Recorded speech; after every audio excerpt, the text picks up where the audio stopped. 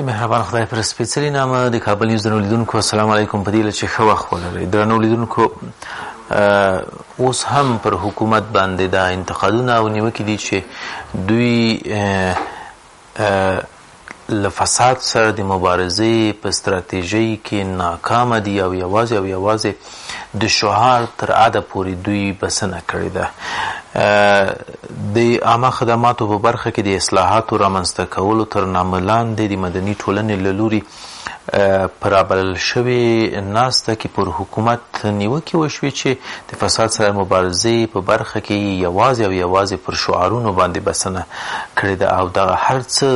تشریفاتي دي او بس او عملي اقدامات تر اوسه پورې نه دي تر سترګو شوي. په دې ناسته کې ګډونوال وایي چې په نظام کې پراخ مالی فساد د دې لامل شوی چې عام خلک د خپل ستونزو د حل لپاره د حکومت پر ځای مخالفینو ته مخه کړي که څه هم خورا زیاتې ستونزې مخالفینو سره دي، که په یو بل تعبیر سره یې ووایو چې دا حالت مخالفینو رامنځته کړی چې موږ نن له دغه ډول بد حالت سره مخ اوسو، خو په هر صورت دا هم د پوښتنې وړ مسئله ده چې په حکومت کې د اختلافاتو، په حکومت کې د ناخوالو او په حکومت کې د پراخ مالي فساد له امله اوس عام افغانان خپلې دوسیې مخالفینو ته وروړي او هلته د حل لارې د لټولو لپاره څخه مراجعه کوي. په ټوله کې نن په خبر او نظر کې له فساد سره د مبارزې په برخه کې بحث لرم چې رښتیا هم په دې د حکومت د ملي یووالي حکومت له رامنځته کېدو نه وروسته ایا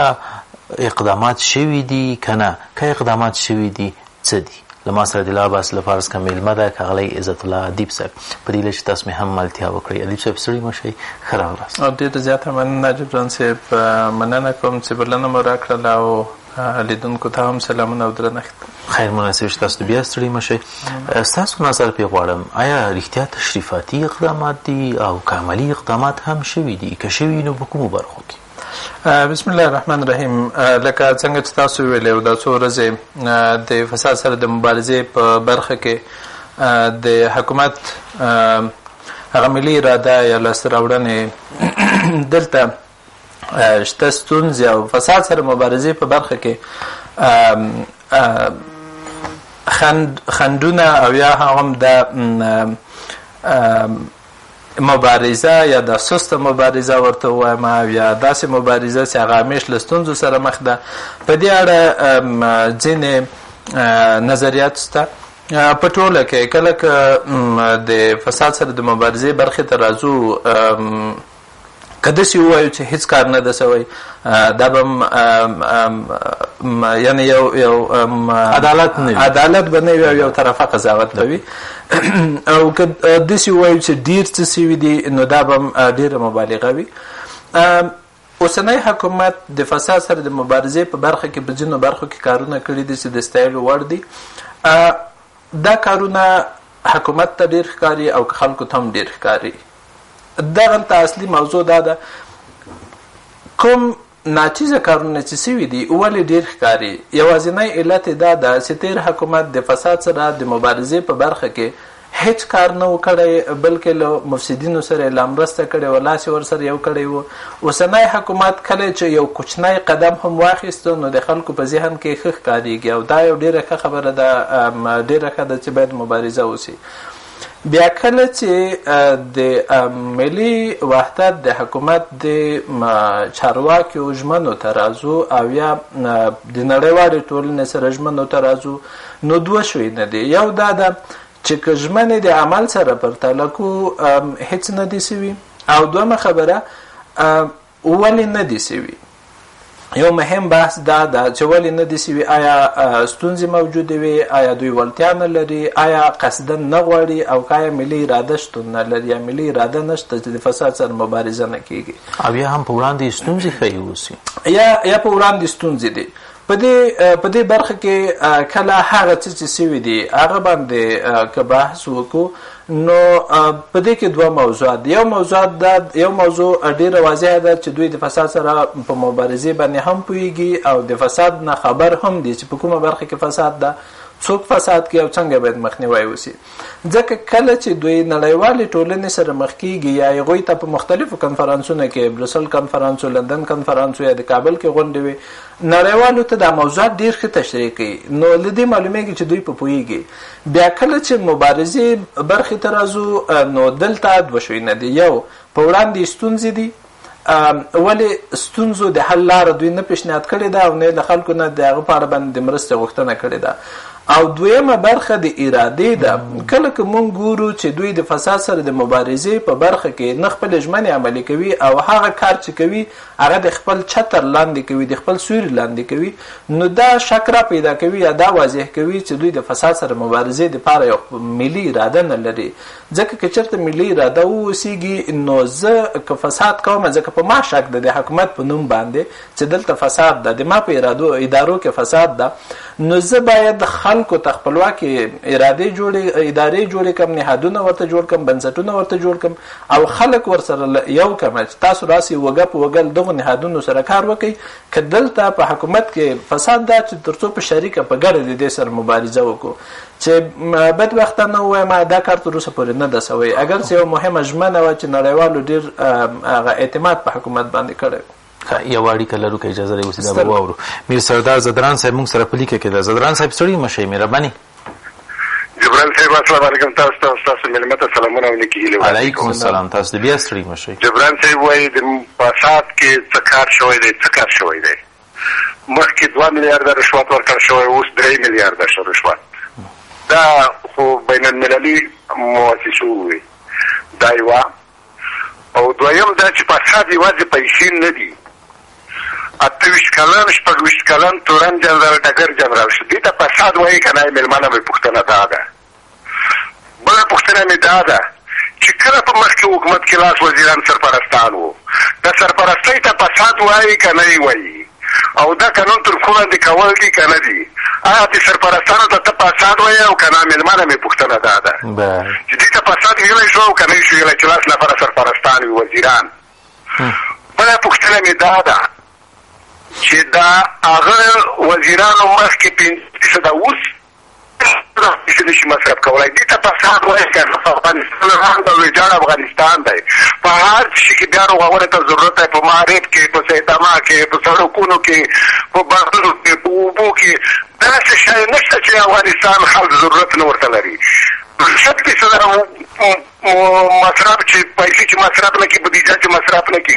ایا دی ته فساد وایی او کنه او د مخکی حکومت نه زیات شوی دی که کم شوی دی پوښتنه می دا ده مننه. ښه ډیره زیاته مننه کوم نو زن بله پوښتنه نه مطرح کوم ځکه چې ستاسو پوښتنې خورا زیاتې وي چې ادیب صاحب د پوښتنو لاندې نشي ادیب صاحب مهرباني بسر زران صاحب ډیره زیاته مننه کله چې تاسو د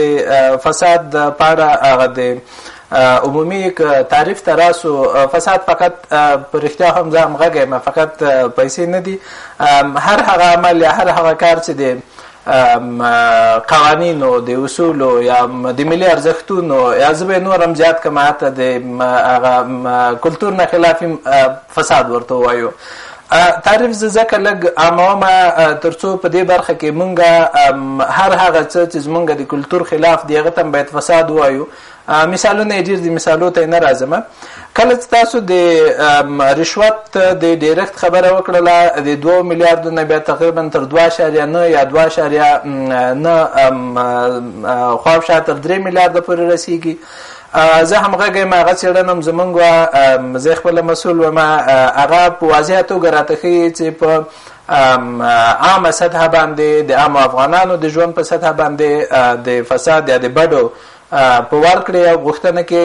ډیرښت راغلی ده نجات شوی ده بل موضوع تاسو کم عمر ډګر جنرالانو ته یا مثلا ډګروالانو ته او یا نورو بستونو ته اشاره وکړله د هغه نه وروسته سرپرستانو ته مو اشاره وکړله او بیا مو د وزیرانو یا د بودیجې مصرف ته اشاره وکړله دا هغه ستونزې دي چې موږ همیش په دې اړه باندې خپل غږ پورته کړی دا او نن بیا هم د تاسو د پوښتنې په جواب کې وایم چې دا په خپل فساد دا ولې باید سرچینه پیدا کو اول د کوم را ځوانانو په بسونو ګمارنه په ټوله کې د افغانستان د حکومت یا د ملي وحدت حکومت له اول نه یعنې د تیر حکومت نه تر اوسه پورې د ګمارنو په برخه کې د رونتیا او د شفاف میکانیزم د نه موجودیت وجه ده او دویم په کلیدي پوستونو ویش او هغلته سیاسي نفوذ یا سیاسي واک په افغانستان کې منګ او تاسو وینو یا په اوسنی حکومت کې هم چنن چې اکثر پوسټونه د دوو ډلو ترمنځ ویشل شوي دي کله چې وویشل شول نو هغه هغه څوک ګماري چې څوک د دوی دی ډلې نو هغه ته پوهه او هغه قدر و ما یا تجربه سر خوړلې ده چې موږ لدې ستونزې سره اوس هم مخ یو د موږ یو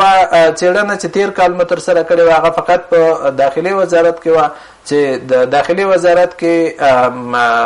غیر قانوني ګمارنې او فساد په اړه باندې دا نه دی هر شي ته مې اشاره کړې ده او په دې اړه باندې زمونږ اقدامات دا و چې خپل د وزارت داخلي سره مو شخصي غونډې لرلې حکومت ته موږ کړې او په راپور کې مې دوی ته پیشنهادونه ورکړي دي چې د ستونزې څنګه باید حل شي سرپرستان او د بودیجو نه مصرف خپل غټه ستونزه ده ځکه وزیر نه تهدیدوي بلکې زمونږ او تاسو عام افغانان تهدیدوي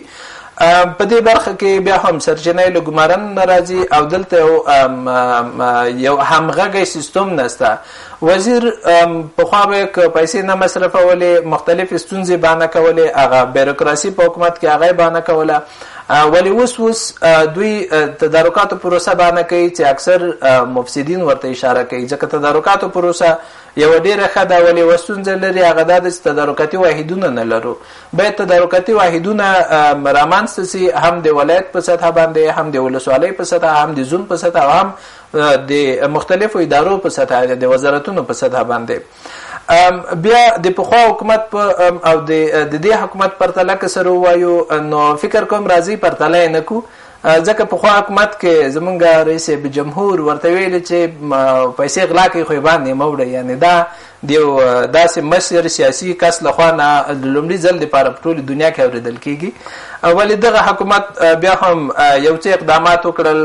د تدارکاتو یو سیستم رامنځته کړ وزارت دفاع ته کراسو ځینې ژمنې وزارت داخلي سره او په ځینو نورو برخو کې مثلا د عدلي او قضایي مرکز رامنځته کول د دې نه یادونه کولی سو ولې هیڅ کله داسې نسو ویلی چې کاملا موافق ده او هیڅ کله موږ ورسره موافقه نسو کولی چې دوی په خپل کار کې ډیر موافق دي موږ که فکر وکړو یعنی ډیر ناچیزه کار کړی ده چې په دې سره دوه کاره یو کچرته یو کوټلی ګامونه وانخلي د افغانانو او د حکومت یا د عامو خلکو د حکومت په منځ کې هغه فاصله نور هم زیاتېږي ادیب صاحب تاسو مخکې مهمه مسایل ته اشاره وکړه دوه یعنی دغه د فساد سره د مبارزه چې شوې ده خلکو ته روښانه ده، د خلکو اذهان روښانه شوي، که یوازې او یوازې حکومت پرې بسنه کړې ده چې مونږ له فساد سره مبارزه کړې ده، دا ډېره مهمه مسله ده. اوس وګورئ، تاسو د تدارکاتو کمېټې مسله یاده کړه چې واقعاً هم چې ښه اقدام دی، خو تدارکاتي کمېټې بیا دلته نشته، دا واحدونه دلته بیا نشته، خو خپله وزیر را جګېږي او وایي چې لویه ستونزه چې د وزارت د انکشافي بودجې ته مخ ده او یا هم کارونو ته مخ ده، هغه د تدارکاتو کمېټه ده، هلته موږ برلاسي نه یو، حتی دا چې په ځینو ډېرو مواردو کې زموږ صلاحیتونه اخیستل شوي دي او یا هم د ولسي جرګې استازي راجګېږي وایي د تدارکاتو کمېټه د فساد اصلي لامل، اصلي ځاله ده، د حکومت والي راجګېږي چې د د سرمایو او یا هم د شتمنیو د ثبت مسایل دومره مهم نه دي خو تدارکاتو کې د فساد مسله باید وڅیړل شي کنه او یا هم په خپل حکومت ولسمشر وایي چې د کورنیو چارو وزارت د فساد لومړنۍ مرجع او ځای ده ځاله ده کنه وګورئ دا خو نو بیا پر دې باندې دلالت کوي چې شته رښتیا هم ستونزې یعنی کافي ستونزې شته بله مسله دا چې تاسو ویل چې حکومتونه باید سره پرتله نه کړو یعنی مونږ حکومت د دې لپاره ټاکلی چې کار باید وشي له پخواني حکومت څخه له تیرې ورځې څخه باید نن ورځ مونږ لاسته راوړنې ولرو او دا هم دقیقه ده خو په ځینو مواردو کې که تیر حکومت دوه سرپرست وزیران ساتلي اوس دا یولس سرپرست وزیران یې ساتلي دي که د تیر حکومت مسله یاده کړو چې تر ډېره حده پورې به بودیجه تر دېرش پنځه دېرش تر پنځوسو پورې نه رسېدله دا حکومت تر پنځلسو په خپله حکومت وایي د مالیې وزارت وایي تر پنځلسو پورې فیصده پورې وزارتونو خپله بودیجه نه ده لګولې نو دلته بیا یو ډول توپیر رامنځته کېږي چې باید سره پرتله شي مننه جبران صاحب کله که د فساد سره د مبارزې برخه کې لومړی موضوع ته راسم د فساد سره مبارزه برخه کې یعنی ما لومړی ویلې بیا هم وایم چې یو څه یو څه کار سوی دا ولې بسنه نه کوي ځکه بسنه چې نه کوي د لپاره دلایل سته فساد سره مبارزه خپلواکو نهادونو ته ضرورت لري چې مونږ نه لرو او دویم فساد سره د مبارزې په برخه کې اوسني حکومت په خپلو ژمنو عمل نه ده کړی چې ویلي دي چې مستقل کمیسیون به رامنځته کوي هغه به هم له سیاسي نفوذ نه برلاسه یعنی پاک وي هم به خپلواکي لري هم مالي او هم سیاسي خپلواکي به لري چې دا کار تر اوسه پورې نه ده سوی زه بیا هم تکراروم وبخښه ادیب صاحب څومره امیدواري شته دغه ډول کمیسیونونو ایجاد او جوړولو ته وګورئ موږ په په شکلیاتو کې ښه قوانین لرو په هره برخه کې خو په عمل کې دغه قوانین نه پلي کېږي یوازې او یوازې مسایل دلته راځي پر سیاسي ستونزو باندې نو زه احمد او محمود ته کږه هم نشم کتلی ځکه چې هغه باندې یو څو کسه درېدلي دي هغه زورواکی ده هغه ټوپک سالار ده هغه تر شاه پورې خپل کسان لري نو د کمیسیونونو د خپلواکو کمیسیونونو ایجاد او د داسې ادارو ایجاد چې ګویا مثلا د عدلي او قضايي ادارې مرکز ايجاد څه ګټه يې رسولې ده ستاسو په نظر باندې ایجاد شو خو تر اوسه پورې داسې قضیه مونږ ونه څېړله چې ګوره شاهدان یې اوسي چې رښتیا دې هم یو معین یا یو وزیر او یا هم یو هغه وزیر چې رښتیا پکې ښکیل وي هغه یې راکش کړی همدغه موضوعات ما ځان سره نوټ واخیسته ورته راځم د فساد سره مبارزې دپاره موږ همیش ویلي دي لازم هم دا ده ځکه چې فساد یوه ملي ستونزه ده نو یو ملي اداره وي یعنی ملي اداره په دې معنی چې باید د حکومت له نفوذ نه پاکه وي د دې سره په څنګ کې حکومت هم په نړیوالو کانفرنسونو کې ویلي دي او هم اوس وایي چې موږ د دې د پاره یو ستراتیژي جوړو ولی ستراتیژي بسنه نه کوي موږ لومړی فساد سره د مبارزې د برخې یو قوي قانون ته ضرورت لرو په تیر حکومت کې یو یو قانون دی یو فرمان په شکل باندې یو فرمان به ورته وایم هغه خپور سوستا ولی هغه جامع نه ده هغه د فساد سره مبارزه کې مرسته نه کوي بل برخه د قوانینو د شتون او د قوانینو د پلي کولو ده مونږه مثلا د تیر ادارې نه د تیر حکومت نه تر نن ورځې پورې متعدد نهادونه او یا هم ادارې لرو ته. ولې د هغوی لاسته راوړنې څه شی دي؟ ادیب صاحب بښنه غواړم دا په خپله د دې خبرې ښکاراندویي کوي چې د ادارو او د کمیسیونونو د شوراګانو ایجاد ګټه نه کوي ګټه عمل کوي چې عمل باید وشي همدغه موضوع ته راځم مونږ همیش کله وایو چې په تیر حکومت کې دا ستونزې وي یا مثلا دغه ضعیف نقاط او ضعیف نقاط ته باید ادامه ورنکړل شي کله که مونږ د فساد سره د مبارزې نه تر یو لسو پر ادارې باندې اوس بحث کوو ولې دومره متعددې ادارې؟ ځکه متعددې ادارې هم مصرف لري، هم په خپل منځ کې د تضاد رامنځته کېږي او هم تداخل او هم هغه انساني منابع پکې تقسیمېږي. بل څومره هغو ادارو چې له تېر حکومت نه ارادو ادارو چې د تېر حکومت نه تر اوسه پورې کار کوي، څومره هغوی ښه کار کړی. مثلا تاسو د وکیلانو له خوا د شتمنیو د ثبت موضوع یاده کړله، فوق العاده مهمه ده. ولې هغه هغه نهاد چې د دې د ثبت د برخې یا د مسؤلیت لري څومره په سمه توګه قوانین پلي کړي دي مثلا زه یو دولتي چارواکی ما ټول افغانان تقریبا 90% په دې باور دي چې زه میلیونر یم ولې هغه راځي 200 زره افغانۍ خپل سرمایه لیکي هغه ته قانون وایي چې تاسو د غوي سرمایه ثبت کړئ او بیا چیړنه وکړئ دومره موضوع هغوی